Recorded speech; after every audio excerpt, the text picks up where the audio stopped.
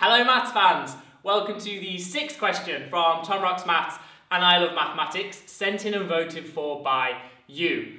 Thank you as always for voting and the winning question this week is how does modular arithmetic work?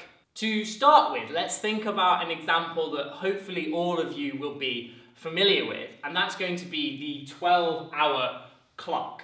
So apologies for the, the circle but it was my best attempt, and I have heard that if you can draw a circle, it's a sign of madness. So, you know, I'm quite glad that I, I can't really draw a circle.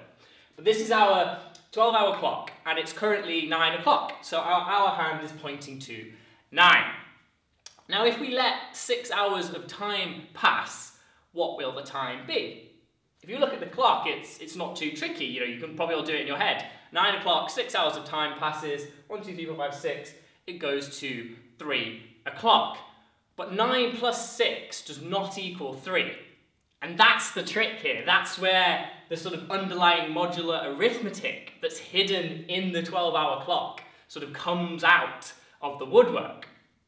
Because what we're doing with a clock is doing arithmetic modular 12. So that simply means that when you get to 12, you then start again. The numbers sort of wrap around. And it looks a bit easier when you draw it out as a circle of numbers like this, like a clock. Because you just sort of go 9, 10, 11, 12, and then you start again. 1, 2, 3, and you keep going round. So if it was 9 o'clock and then 12 hours pass, the hand will go all the way around the circle and back to 9. So it's still 9 o'clock. But 9 plus 12, again, it doesn't equal 9 in normal arithmetic. And that's sort of what's going on with modular arithmetic. You, you have a set number, and once you get to that number, in this case 12, you just start again. You just ignore the fact that 12 has already passed. You're only interested in the bit beyond 12, or beyond multiples of 12. So let's think about the clock mathematically, so sort of from the modular arithmetic point of view. So 9 o'clock plus 6 hours, we all know is 3 o'clock. But 9 plus 6 gives you 15. So why is 15 equal to 3 o'clock? Well, it's to do with the fact that the clock is modular 12. Because you start at 9, you then add your 6, you get 15. But, importantly, 15 contains one group of 12. And so it doesn't matter that that's there. We sort of ignore that in some sense. It's not relevant. So that first group of 12, which is like us counting up the first three hours to 12, we just ignore that and we only care about the remainder, so the bit beyond 12. So in the case of 9 plus 6, you sort of go to 12 and then there's another 3 from 12 to 15. And that's why 9 o'clock plus 6 hours goes to 3 o'clock.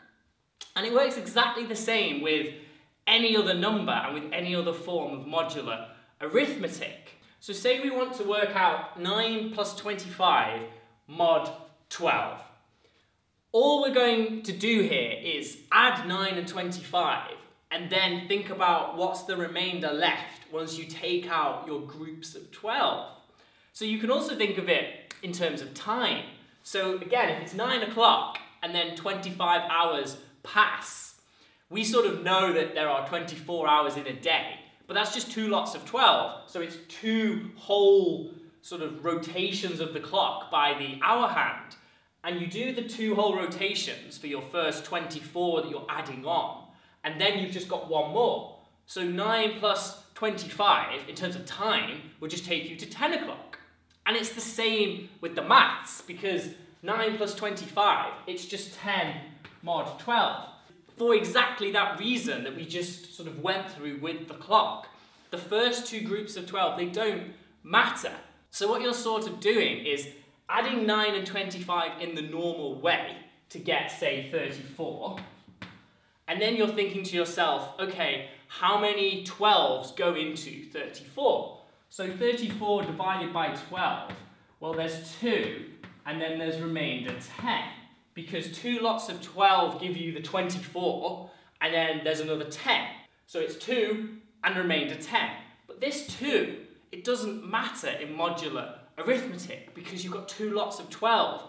and we don't really care about them. We like ignore them. And so here, this two lots of 12, it doesn't matter.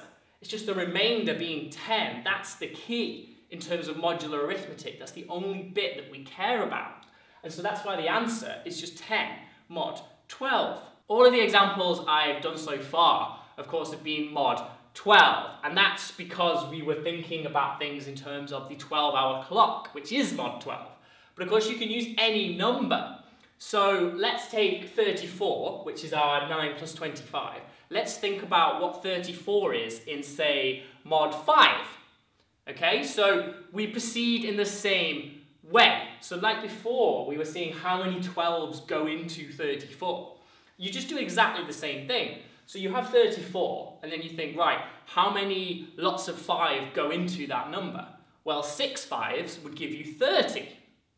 And then there's 4 left.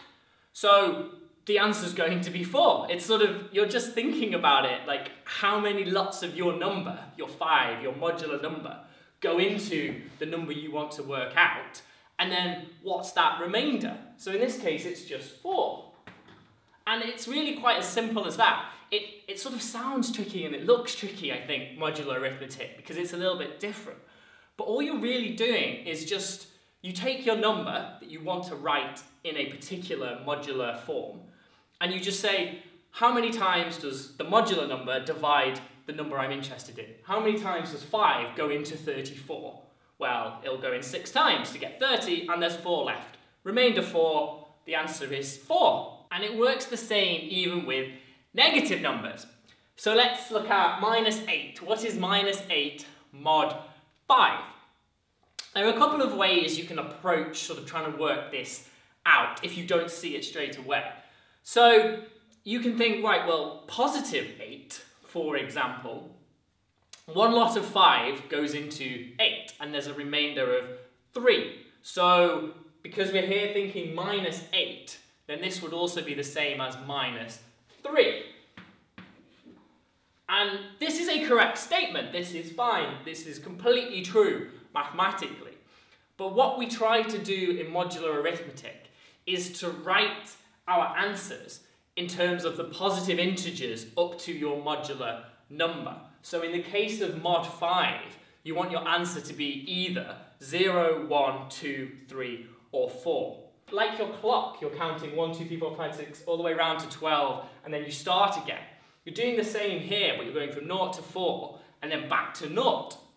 So rather than writing this as minus 3, which of course isn't inside that 0 to 4 interval we want our answer to be, what you can do is just add 5 until you get into that interval.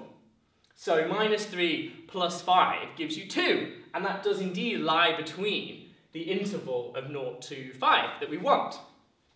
So here, the answer is also just 2, and it looks a bit neater.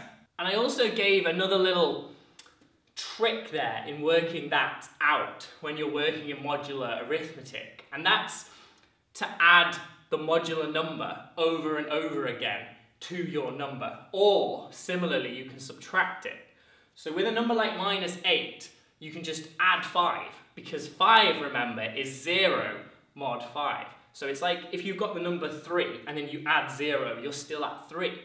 Well, adding 5 in mod 5 is the same as adding 0.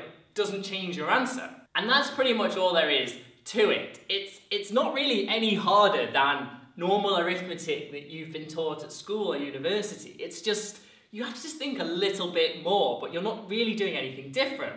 The operations of addition, subtraction, multiplication, division, they all work exactly the same way. So you do the normal operation to get your answer. And once you have that answer, you then just convert it into the correct form by dividing by your modular number and working out the remainder. It's, it's really as simple as that. So let's do one final example, say 7 times 9 and we want to work out what is 7 times 9 modular 21. So to start with, you just do 7 times 9 in the normal way. So 7, 9, 63. So 7 times 9 equals 63. And we want to know what this is modular 21. Well, you just get your answer and then you say, right, how many 21s go into 63? Well, 63 is exactly three lots of 21. So 63 divided by 21 is exactly 3 with zero remainder.